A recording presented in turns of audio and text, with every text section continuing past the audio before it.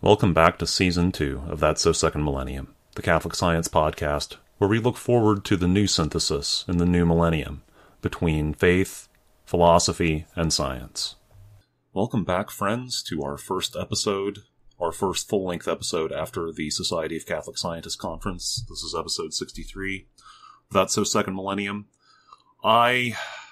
It was a great conference. Uh, it was a great experience, and so many things went just right. Um, there was one large thing that did not go just right, and that was uh, yours truly's ability to uh, set things up in the interview room for optimal audio quality. So we had we recorded a number of interviews. We talked to while we were there. We talked to Maureen Condic for an hour and a half. Um, it was a great talk, a great interview. Um, we talked to Father Lawrence Machia and Daniel Vandenberg at St. Vincent. They, they are at St. Vincent's College in Pennsylvania. And then we talked to Karin Öberg.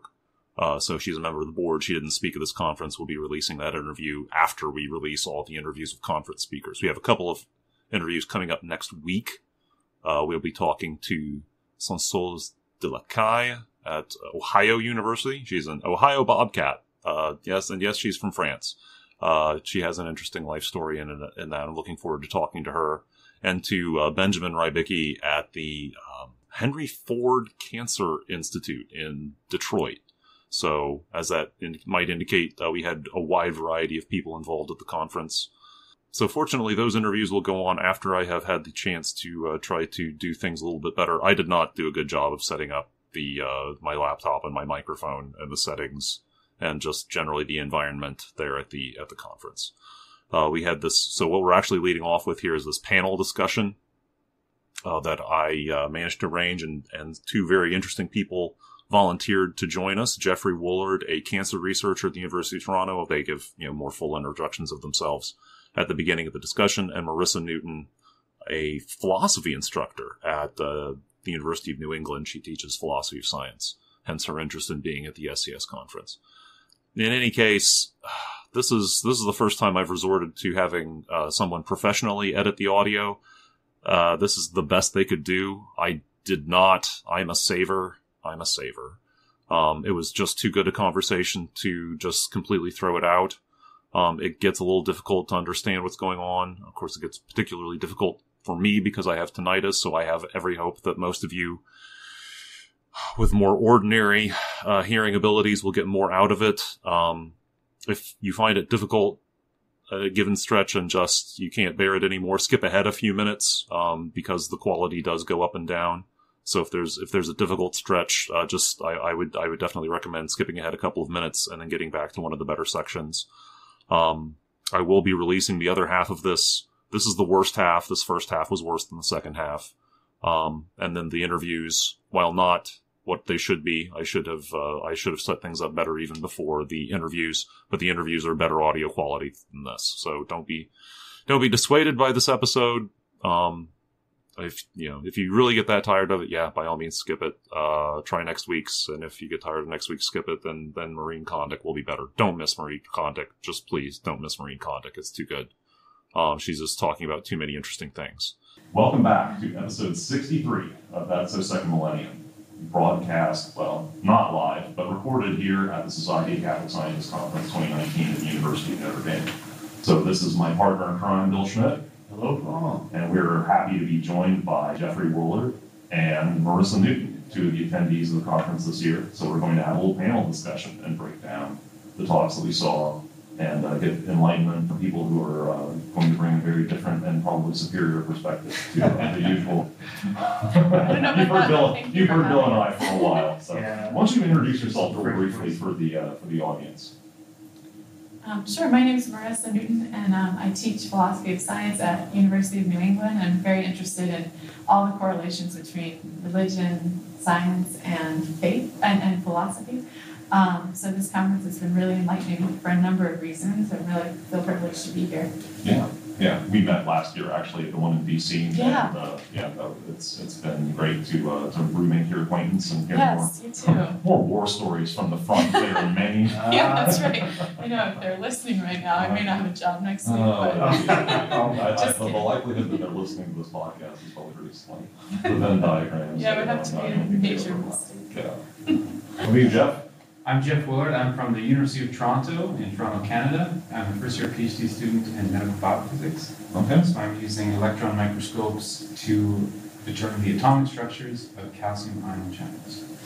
And today, uh, at this conference, I presented some work I've been doing on attitudes towards cancer, Yeah, uh, why not live forever, right? from, uh, from books to bench to biotech to bedside. Mm-hmm. Texts from ranging that whole gamut experience. Okay.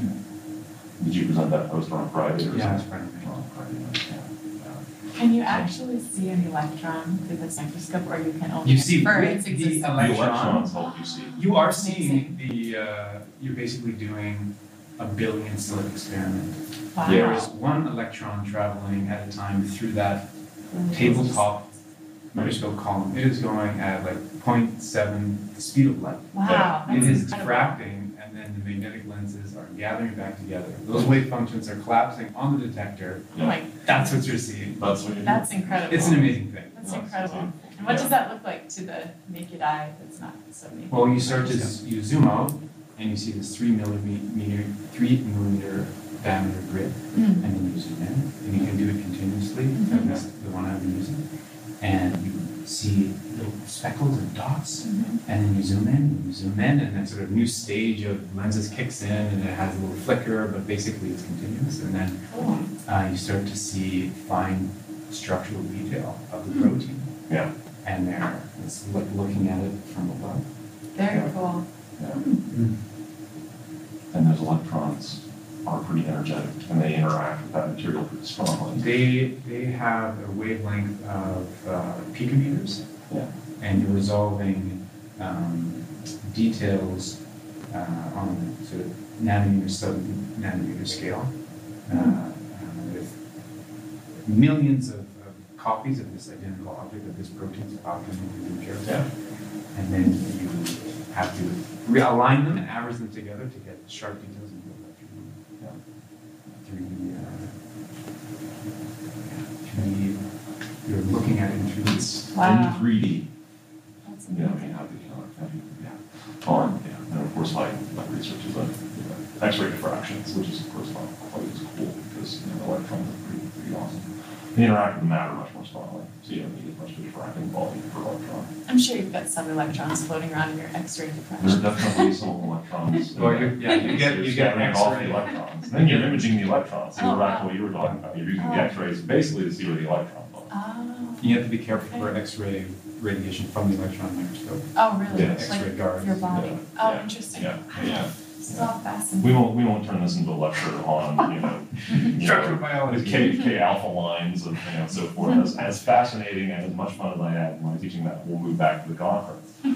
Um, so we have had a jam-packed couple of days here from Friday evening and the poster session through talks all day yesterday, culminating with Michael Flynn's, um, wandering through uh, Western Germany in the uh, in the mid 14th century for uh, talking about Eifelheim and his science fiction book set in that set in that era. Um, and then today we had three more talks and a poster session. So we had uh, we had a lot of content and it went all over the place. So uh, why don't we why don't we just of, what, what, what were you, what was the most memorable moment for each of you? Say, I really liked uh, Conor Cunningham's talk. Um, although everyone said that was the most sporadic talk of the conference, which it was. It's true. That's, that's Um, it was. exactly That's, that was a fair assessment. Yeah. Um, I really liked what he did, gathering together truth from all these different historical, philosophical sources. I mean, obviously, he's not in favor of everything Nietzsche said. He's not in favor of everything Feuerbach said, but he definitely could pull the truth out of these different authors that are all searching for the same thing. I mean, ultimately searching for, for truth, even if they don't recognize it. And um, I really liked what he said about the Eucharist uh, being the only living thing that we eat. I'd have to talk to a biologist about plants, but I do think that um, this idea that it's Yeah. fully alive, Yeah. the as, as a body and blood of Christ, fully alive, that it really causes this really deep ontological change um, in us. I liked what he said about that, and then I also liked what he said about just getting back to the phenomena, like getting back to the things at hand, getting back to the sense of mystery and awe in front of what we encounter in nature. I, uh, well, there's so many good ones, and I want to put forward uh, one that could, it's like a hidden gem that might be Lance Sol- Solis de la Calle's thought on the neurobiology of emotions and the evidence of human intricate entities, because it really brings together a lot of fields. Yeah. Uh, I think her last quote, I forget who it was from, wouldn't ask, I'm asking her, but it was something like the, the, the kind of rigor of science, the wisdom of a clinician, and uh, it's really important for us to be able, um, so in our, in our desire to know how nature works, shouldn't that help us relate to the natural world and restore harmony? And what, you know, what, what kind of better way than how we belonging with each other? Yeah. I'll keep it small sacrifice. Yeah. I was, I was, uh, just the way she did it, you know, Yeah. makes it, makes it,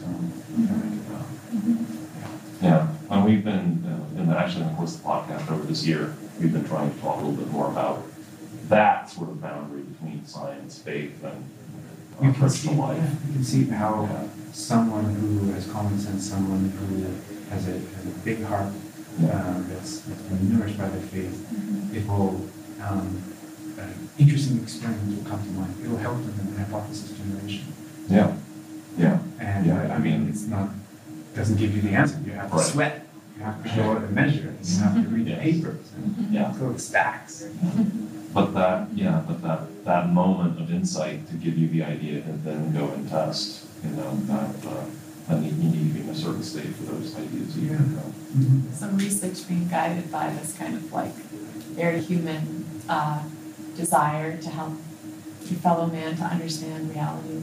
But once the posters was kind of about that. Oh, really? Um, he was right across from where I have mine from Ave Maria University. Mhm. Ah, And he had one on, well, how is it, how would I do science differently than someone who has no faith? Uh-huh. Uh, his poster was about how to encode that in how we communicate science, how Yeah. we write it out. Hmm. That it's something that's, that's not, what our knowledge, our knowledge isn't, we're not idolizing this knowledge. Mhm. It's always connected closely with the person, me as scientist, the general said, Mhm. how I relate with charity in the scientific community, how I'm putting it out there for the betterment of the community, and that helps purify it from uh, hyper-competitiveness. Yeah, As if the science really isn't your own. I mean, God created the physical universe for all of us. yeah, So you're finding it, you're not creating it. finding, there's a sense of humility and, um, and probably And awe. and wonder. Yeah. Did that come up in our conversation with the Maureen Condic, or did that come up in her talk, where she was talking about, I made this fly? I almost think that was in our. I think it was in our podcast. Yeah. Yeah, I remember that. didn't hear it this So that was, yeah, so that, that'll be coming up when we, yeah, that there's that certain attitude in science, and of course in particular in biology. where, you know, Yeah, I've encountered that before. Yeah. my, my biochemistry lab, you know, everyone, rah, rah, rah, let's go make DNA. Yeah. Yeah, yeah, From, you must have to ask them, from what part that creates This this? is, what, what is inside of it? What's more than people? Mhm. It helped me to understand uh, the, the tendency toward atheism in science better than I had ever understood it before. Uh, God as a competitor Yeah. right, to what he would be, you know, he instilled, God instilled in us this desire to know more Mhm. and to have as much knowledge and control in, in, the, in the best stewardship sense. That's what Connor coming in. Is- is that- Yeah, The tree of the tree of knowledge. right? We Yeah. could grasp it, we could weaponize it behind God's back. We Yeah. want to grab the gnosis Right. instead of being taken up into theosis. Right. Learn to become like God. Right. Receive his call. Right, Yeah. we want to take the object of, we want to take the, you know, they say, don't seek the constellations of God, the God of constellations, and we want to Yeah. take the object Yeah. and we idolize that, Yeah. this knowledge. I liked how he said that about the tree. Yeah, those are really powerful. Yeah, I thought so too.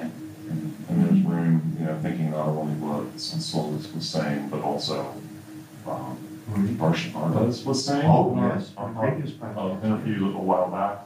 Um, there's a sense that can get, our sense with God can get tangled up with our sense with our parents. Mm-hmm, If we don't trust, you know, mm-hmm, For our for parents to do, Right. yeah.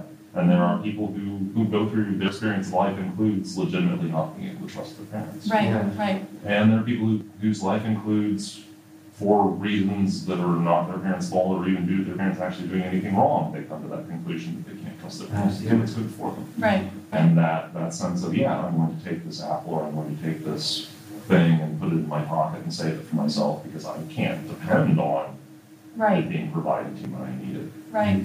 I think that attitude of openness is also the same attitude, the opposite of what you're talking about, this attitude of openness to whatever God has for you. It's the same attitude that, that you need to have in terms of the natural world. That's another thing Conor was saying, I think, is that this attitude of total openness to the phenomena at hand, like letting things hit you as they are rather than as your category, the categories you've already got in your mind are telling you they have to be. Yeah. Mhm. Um, but I think that's a good point, that trust in God. It's an important question, this is precisely what, um, uh, the second topic of the Saturday, Mr. UK. Oh, Nathan? Nathan? Or Nathan? I almost think I heard him on Friday night say that his name was actually. Yeah. So after We're that. sorry, we're sorry, Doc. uh, uh, Sorry. I was sitting beside Father Javier and he turned to me and he said, well, how do you put those two talks together? Mhm. It was Marie Person and George's and Stu Michaels, and we were both pretty wowed by his I mean, Yeah, it's was wowed, I was wowed. It was, Yeah. it's fascinating. it was fascinating. And so then he, he. I sat down at lunch and he said, uh, and I asked him, so I put that, how do you put what you're together for the first talk? Mhm. And then he said, uh, well, it's just beyond me. Did you understand any of it? The first thought. Oh. And then we started talking about, um, you know, uh, he's, he told me he's into this thing and this and my faith and vision are. And he said, well, how do you do science differently? It's a great question. Yeah. So it's, it's an important question to think about. Mm-hmm, Yeah, I think so. I'm thinking about it all weekend.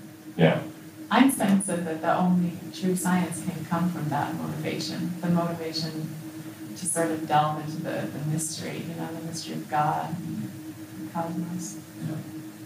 I think it really does have to do um, with our division, our relationship with cosmos. Mm-hmm. Right. Logos, you know, way, can only get us so far. Mm-hmm. yeah. Science can only get us so far. Right.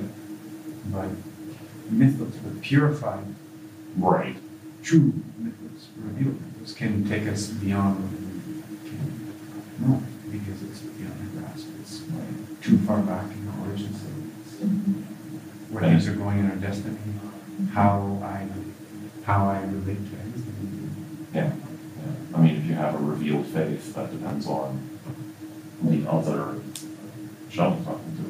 We have to be ready to accept that, if that's, if that's how it has to be. If, if there's some critical component, we have to get that way. Yeah, and you can see this in Father Nicanor's talk on gene editing and CRISPR, Mm-hmm. the intuition he's developed. and- Yeah, Can you elaborate on that a little bit, what you mean about um, this intuition he developed? Like, um, he was talking about the difference between secular bioethics and Catholic bioethics. Right. It's human dignity. Yes, yes. So- Intrinsic or extrinsic. What's in each of us, our capacities, yeah, Mhm, mhm, the image of God. mhm. yeah. Yeah, our intrinsic value versus what the world sees as the, our, you know, the extrinsic value of a person. Being able to break out of the technical area, Mm-hmm. Mm-hmm. bring thoughts and worlds of Mm, yeah, But the human person is. yeah, Otherwise, we get caught up in the logic of technology and ends up ruining us into the conclusions. right, right, the ending, I was trying to picture, the ending of this talk was pretty powerful when he said, you know, we always have to have that, the preferential, the, the, uh, what's it called, the preferential option for the poor, Mhm. yeah. Yeah. Mm-hmm. When doing it, medicine, I think it's so important to remember. Yeah. I've been thinking about this a lot too, about the purpose of medicine in terms of cancer research. Mm. Is it to, am I a warrior in a war to kill death? Is the purpose of med, of medicine to cure death? Or is it to heal sometimes Yeah. and comfort always? Is the main thing love? And, Yeah. medical attention is a, is a wonderful way to love. A loving thing to do. How can you say, Yeah, well, be well and go your way, and the person's Yeah. starving and shivering. Right. Right, But in the end, love is in it. Mm. It's not that killing death, defeating death. Right. I'm putting that on your CD. Having, Right. having a this worldly, this worldly. Mhm. Yeah. Mother Teresa would agree with you, that's for sure. Yeah, with she could with all the work she did, and if she was trying to give people advanced chemotherapy and do all the stuff we do in, in our my institution, we probably would have treated Yeah. more people or something. Right, right, Instead of right. like four thousand. Right, Yeah. And the folks in here, her residences, they don't necessarily want the latest dose of the latest chemotherapy. They want their handheld. Mhm. Yeah. Well, it's contextual. Passing away. And it's contextual, it has to do with the resources on hand, what's there, the family situations. Right. What is a loving thing to do? Mhm. Depends, what's all the other things I have to take care of in my life. Yeah. Yeah, it's always, maybe that's, we, we can't escape that responsibility of, you know, we need enlightenment, we need to ask for that grace to see what the best thing is to do, and then we need to take the responsibility of doing the pragmatic things to figure it out and do it and implement it. Mhm. That's why I asked that question, I asked the question to Christopher Ron, who have talked, will tissue engineering change human nature? Asked him, well, what is? What's really motivating people to work in this field? Is it the desire to live forever? Is it to, to be, you know, is it to be immortal? There's like these, uh, uh, there's a foundation that uh, is promoting sort of life extension research, and there's mainstream YouTube videos that talk about, well, maybe the, the, the first immortal is already among us, right? It's, Wow. it's not Right. woo-woo stuff out Mhm. there. It's Yeah. actually being researched. So people are clicking on this and it has however many hundreds of thousands of views and Yeah. they're giving Yeah. ten dollars a month in crowdfunding campaigns. Oh, gosh. That's yeah. amazing. It's, it's the real deal. Mhm. Yeah, But yeah, I asked them, well, what's the second? Is it, is it the desire to take what I grasp and to be a winner? Mhm. And to, or is it to, is it to care? Is it to heal? Is it to love? Mhm. yeah, You don't, you can't always know that from the papers. Right. What's inside people, what's motivating them. No. Right. no, We were talking about that the first night. What what is it that makes people want to cheat death so badly too? What is it that makes people so inclined to want to live forever? And I, I asked, I was asking uh, Jeff the question, do you think it's because their life is so good they can't picture an ending? Do you think it's because they're afraid of death? Or it's, do you think it's because they think there really is nothing after this life? And I suppose either, uh, any of those three could be motivation, but I wonder what's the dominant one, you know? Good Yeah. question to ask colleagues at lunchtime. Yeah, yeah. Or over a coffee, one on one. Right, right, Sometimes they're, yeah, they'll open up uh, they have some space to talk. Mhm. I know that what I mean by that is very different from what many people I work with mean by that. Mhm. I think that is just absolutely. Yeah. Mhm. Closure. And I,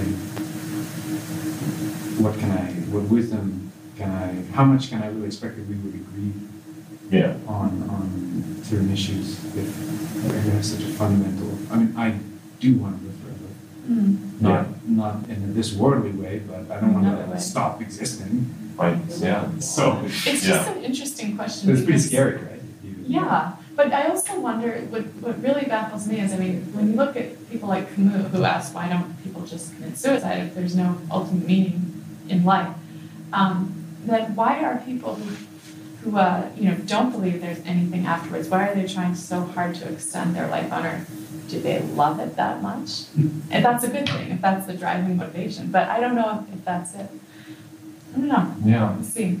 I'll have to talk to some more people. Is it, is it purely on an instinctual level? Uh, you know, I mean, is, is the, you know, trying to look at it from that philosophical standpoint? Well, you know, I just have this desire because evolution put it into me and, you know, if my genes hadn't Right. for this desire to, uh, to keep existing, then, you know, my ancestors wouldn't have survived long enough to reproduce and I wouldn't be here. Right. And I'm just, and I'm just a product of my genes anyway, and my, you know, my DNA is my master, so DNA and circumstances govern what I do anyway, so why should, why should I worry about it? Right. You know, so I'm just going to do it. I'm Follow the to do it. tracks. Yeah, Well, I guess to some degree, uh, death is the ultimate humiliation, Oh. right? Yeah. Oh, I didn't get this, this world right, I'm, I'm, uh, you know, losing, losing this worldly life.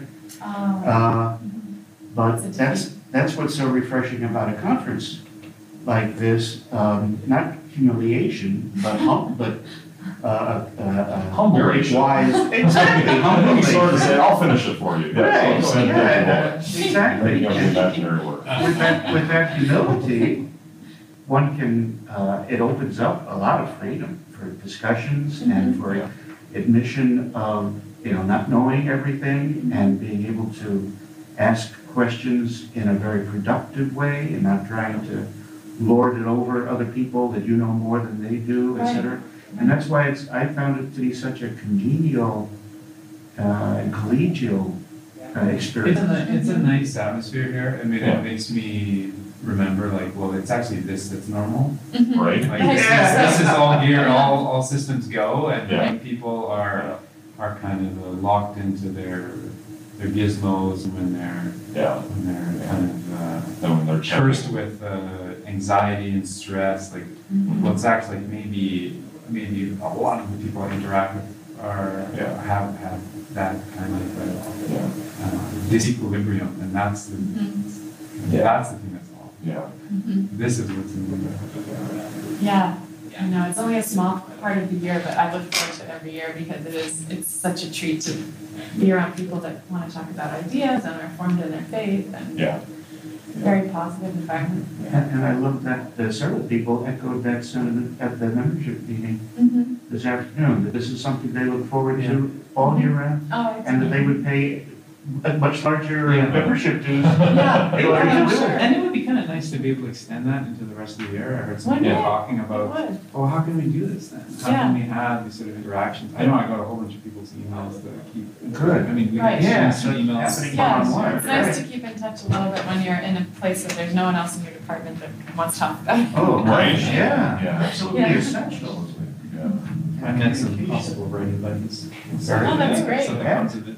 That's great. Yeah, yeah. It's good to have collaboration. I mean, that's where I think so many of the biggest ideas in history came from collaborative efforts, right? Like look at the early days of quantum physics. Those were all the, you know, the German collaborators, right? Yeah. Like Paul Yeah. Dirac Yeah, and You have to bounce your ideas off of somebody. Yeah. Yeah, Yeah, and they had Einstein. tea, get together, or they Yes. went on walks together. they did skits. They did like They fun didn't eat skits. lunch in front of their laptops, I right? know, I Right, don't yeah, think so. exactly. Apparently they did a skit making fun of Einstein at one of their Christmas No dinners way. together. Yeah, but he was a good sport about it. I think it was Einstein they were making fun of. Right. Hopefully it wasn't Paul Ehrenfest. That's I think he committed suicide at some point. Oh, yeah, that's probably been a lot of things. Yeah. Yeah. You can edit that part out if you want. Oh, yeah. Maybe there's some sort of- Yeah, I mean, it's, and it's also, and, you know, and, and I'm a geologist, so not an oppressive environment. It's not like being a person of faith in the, in the hothouse that is biology, from my understanding of it. I mean, I would just walk through the hall because they were on the first floor, and I was on the fourth floor at Illinois State. And I would walk through the hall on the first floor to go to the bathroom, because the auditorium was down there, if we had a colloquium. And there's, you know, there's anti-religious screeds up on the wall on the way to the bathroom. yeah, I mean, that's, that was just the environment. Mhm. Um, At my institution, at the University of that bad, I Buffalo, hope. they, in the training I had, and I kind of, you go through these slides and help people place them, they, they make, uh, uh, emphasis on, um, part of, uh, being inclusive of diverse people Mhm. is letting people be themselves, including the religious identity. Yeah. And so I'm very happy. I felt very supported. And, Mm. and they said sort of in a way, it was like, well, more and more people that have a faith identity are expressing that they experience workplace discrimination. Yeah, And it can be That's subtle sometimes, Yeah. you know? right. Yeah. It doesn't have to be someone, uh, it can be someone who just doesn't give you uh, space to be yourself. Right. Right. But I definitely don't uh, experience that. Yeah. And, um, Well, I was, We just had Eid, we just, I work with a Muslim colleague, and they have their sort of post Ramadan, you are not allowed to fast on that day, you have to You feast have and to be eat. happy. Oh. right, right. And so we brought all the That's sweets, and, Oh, yeah. And Yeah. yeah, a lot of the people I work with aren't, Oh, maybe they have a. Muslim background, but they're believers or practicing. Uh-huh. But they're, they have their memories of their family also having this, Mhm. and so he's, he can be himself, and he does better work because of it. Yeah, it's important. Yeah. My students all just went through Ramadan, my, my summer school students, because I teach ESL. Uh, anyway, so Okay. I know that the, the same thing there. There's like a sense of openness about all these different faiths, which is nice to see. Part of being human, Yeah, it is. spirituality is really It a, a It's respectable. part of our anthropology. Mhm. Yeah. Yeah. This is actually part of being human rather than something that we should, you know, package up and minimize and push out the door as quickly as possible. Mhm.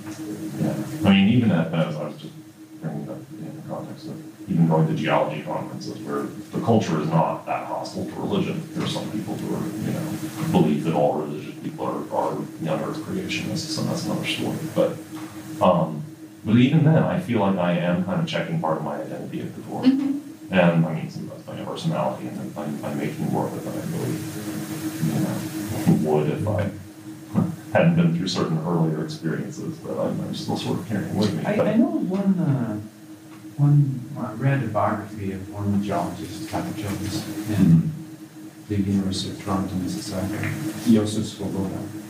He's an interesting, he wrote his biography recently. I'm going to give you that reference, but he went through a lot. He, he was thrown into communist gulag in his Right. early 20s Wow. because he did ran a letter from A to B when he was like first year university, and then six months later, Uh, that was just it. The next they brought him in for that. Ten years in the gulag, got Wow. out, twenties burned, and then tried to get on with his life. yeah, He had ended up having an extremely good education yeah, in those prison camps because he had really people that had formed their own like prison universities. Yeah. Okay. Walter Ciszek, I The think. prisoners Vatican, the Mukul was Vatican. Oh. uh, and then he got out, but he was always black. He was always can't study here, black this, that. So he just fled, he fled to Canada. Wow. yeah, And from the day he landed, four or five years later, he had finished his PhD, finished his Wow. studies, got his PhD, and got an assistant professorship post. That is Yeah. so And he did these trips to the Arctic, and he wrote about how he experienced the natural world, about Wow. how, you know, seeing earth, how, you know, history, how everything had developed, yeah, uh, right there in the Arctic, Mm. stones upturned, and That's inspiring. and uh, it's an amazing letter from, I forget uh, his name, but part of the Czech Republic, Czech Republic, a letter okay, um, uh, sort of encouraging him. Uh, he was super Cool story. Reminds me a little of Walter Ciszek's story. Because he had the same experience learning philosophy and theology in the camps. He called it like the University of Lubyanka, the prison camps. yeah, Yeah. Yeah. He used their time well. We have no excuse here in the United States. No, yeah. no first world problem.